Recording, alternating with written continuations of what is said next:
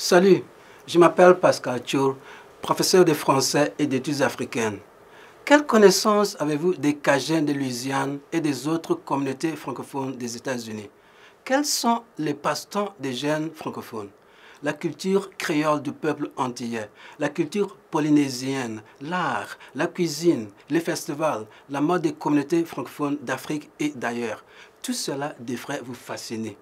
Que savez-vous des communautés de l'océan Indien?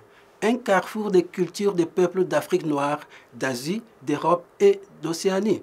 Le programme de Gustavus Adolphus College est unique, une véritable opportunité d'explorer le monde francophone dans toute sa richesse et sa diversité.